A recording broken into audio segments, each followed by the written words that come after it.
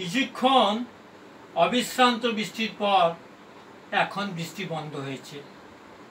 বন্যা অবধারিত এবং আপনাদের শুভেচ্ছায় অবধারিত মৃত্যুর হাত থেকে মনে হচ্ছে এই যাত্রা বেঁচে গেলাম এবং আমার বাবা মা ও গুরুজনদের আশীর্বাদে।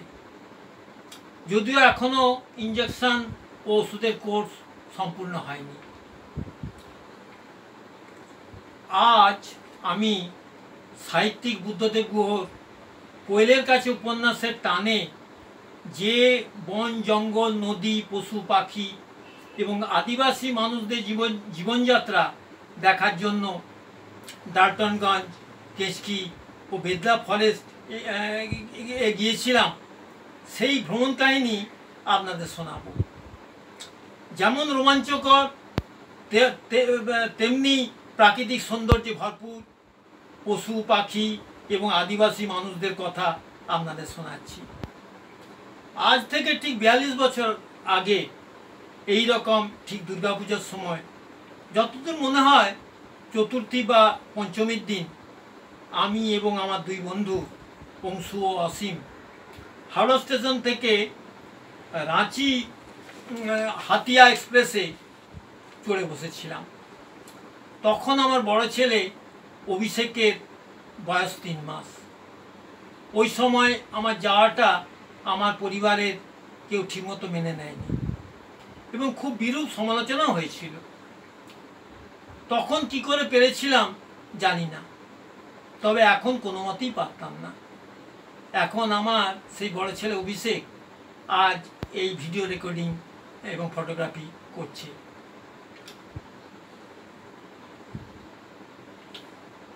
যাই হোক ভোরবেলা রাঁচি স্টেশনে নেমে তিন বন্ধু একটা দোকানে চা বিস্কুট খেয়ে ডাল্টনগঞ্জের বাসে চড়ে বসলাম। এবং চতুর্দিকে প্রাকৃতিক সৌন্দর্য দেখতে দেখতে দুপুরবেলা ডাল্টনগঞ্জে পৌঁছালাম। খিদে পেট চোচো করছে। কোনো রকমে আমরা তিন বন্ধু একটা হোটেলে ঢুকে ডিমের কারি ও ডাল সহযোগে ভাত খেলাম। অবাঙালি অধ্যুষিত হলেও বহু বাঙালির বসবাস। অসীমের এক আত্মীয় ওখানকার বাসিন্দা। ওনার বাড়িতে গিয়ে উঠলাম। খুব উষ্ণ অভ্যর্থনা ও আপ্যায়ন।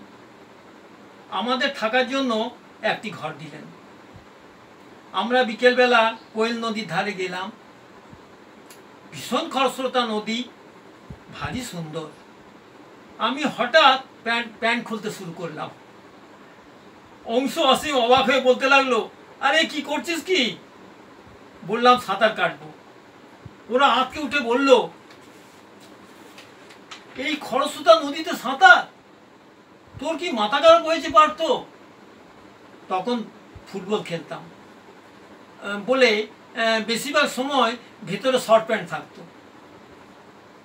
ফুল প্যান্ট এবং শার্টটা খুলে ওরা বারবার বারণ করা সত্ত্বেও কোয়েল নদীতে সাঁতার কাটতে নেমে পড়লাম। স্রোতের ভয়ানক টান টেনে নিয়ে চলে যাচ্ছে। আমাদের গঙ্গাতেও মনে হয় অত টান নয়। অংশু অসীম পাড় থেকে বারবার বলছে, পার্থ, এবার উঠে পড় উঠে পড়। কিছুক্ষণ সাঁতরে উঠে পড়লাম। ওরা হাত ছেড়ে বাঁচলো। সারটা দিয়ে মাথা শরীর মুছে নিলাম। এবার অসীমের আত্মীয়র ঘরে ফিরতে হবে। ডাক্টনগঞ্জ শহরটা দেখতে দেখতে চলেছি। অংশু একটা দোকান থেকে লাড্ডু কিনলো। খেতে খেতে অসীমের আত্মীয়র বাড়িতে পৌঁছে গেলাম এবং পৌঁছানোর পর ওনার কাজের লোক আমাদের খাওয়ার জন্য নিয়ে এলো লুচি কাদি ছোলার ঘুগনি, সেই সঙ্গে আবার লাড্ডু। লুচি খাওয়ার পর এলো জল ছাড়া দুধের চা। ওহ লাভলি ভাবা যায় না। পরের দিন সকালে আমাদের কেচকি যাওয়ার কথা?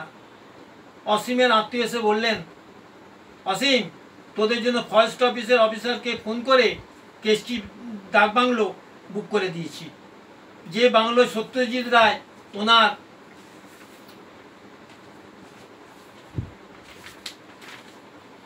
অরণ্যের দিন রাত্রি শুটিং করেছিলেন। দেখবি খুব ভালো লাগবে। ওখানকার যে কেয়ারটেকার সে তোদের রান্না করে দেবে। এখান থেকে যাওয়ার সময় যা খাবি বাজার করে নিয়ে যাবি। আর ডালটনগঞ্জ স্টেশন থেকে বেলা আটটায় একটি ট্রেন পাবি। ওই ট্রেনে কেঁচকি পৌঁছতে পঁয়তাল্লিশ মিনিট পঁয়তাল্লিশ মিনিট থেকে এক ঘণ্টা সময় লাগবে। সারাদিনে ট্রেনটি একবারই চলে। গল্প করতে করতে ঘুম আসতে অনেক রাত হয়ে গেল। পরের দিন ঘুম থেকে তাড়াতাড়ি উঠতে হবে। পরের দিন ঠিক ভোর ছটায় অসীমের আত্মীয়ই আমাদের ঘুম থেকে তুলে দিয়ে বললেন, মুখ হাত ধুয়ে চা খেয়ে তোমরা বেরিয়ে পড়ো। ট্রেনে চড়ার আগে তোমাদের আবার বাজার করতে হবে। ওখানে কোনো কিছু পাওয়া যায় না। যথাসময়ে আমরা চা খেয়ে কেচকির উদ্দেশ্যে বেরিয়ে পড়লাম। বাজার থেকে আমরা চাল, মুরগির মাংস, ডিম, কলা, পাউরুটি, বিস্কুট রান্নার মশলা ইত্যাদি নিয়ে ডাল্টনগঞ্জ স্টেশনে, স্টেশন থেকে আটটা তিরিশ মিনিটে ট্রেনে চড়ে বসলাম। ট্রেন আধ ঘণ্টা লেট ছিল। ট্রেনের প্যাসেঞ্জার বেশিরভাগই দেহাতি, আদিবাসী মেয়ে পুরুষ। দেহাতি হিন্দি ভাষায় কি বলছে কিছু বোঝা যাচ্ছে না। আমরা প্রায় পঁয়তাল্লিশ মিনিট থেকে এক ঘণ্টার মধ্যে কেচকি স্টেশনে পৌঁছে গেলাম। নেমে স্টেশন মাস্টার সঙ্গে দেখা হয়ে গেল। উনি ট্রেন চালানোর জন্য চালকের উদ্দেশ্যে পতাকা নাড়লেন। ট্রেন চলে যেতেই পরিচয়ের পালা। পরিষ্কার বাংলায় বললেন, আপনারা কোথা থেকে আসছেন? বললাম, আরে, আপনি বাঙালি? আমরা তো ভেবেছিলাম আপনি অবাঙালি। বললেন, আর ভাই, কি বলব দুঃখের কপাল। না হলে বাঙালি হয়ে বাংলাদেশ ছেড়ে এই পাণ্ডব বর্জিত জায়গায় পশ্চিম পড়ে? সবই কপাল, বুঝলেন ভাই? সবই কপাল। তা পশ্চিমবঙ্গের কোন জায়গায় আপনার বাড়ি? আগরপাড়া। আরে বলেন কি, আমাদের তো তাহলে কাছেই। হ্যাঁ আমরা ভট্টাচার্য। আমার নাম মৃগাঙ্ক ভট্টাচার্য। হাঁপিয়ে উঠেছি ভাই। কারোর সঙ্গে বাংলায় যে একটু মন খুলে কথা বলব, তার উপায় নেই। বললাম, ঠিক আছে, বিকেলে আমরা আপনার সঙ্গে এসে দেখা করব। কোন দিক দিয়ে কেচকি ডাকবাগলে যাব একটু বলুন। ওই যে স্টেশনের ঠিক উল্টো দিকে জঙ্গলের মধ্যে দিয়ে একটা সুড়িপথ নেমে গেছে, ওখান দিয়ে চলে যান। কিছুটা গেলেই ঔরঙ্গা নদী পেরিয়েই ডাক বাংলো ডাক বাংলো। অবশ্য নদীতে জল নেই। পাতা ভেজার মতো জল, নুড়ি পাথরে ভর্তি। ওনাকে বিকেলে আসব বলে আমরা জঙ্গলে সে সুড়িপথ দিয়ে নেমে গেলাম। গভীর জঙ্গল তার ভিতর দিয়ে সরু সরু সুড়ি পথ আলো আঁধারি গাছের পাতা ফাঁক দিয়ে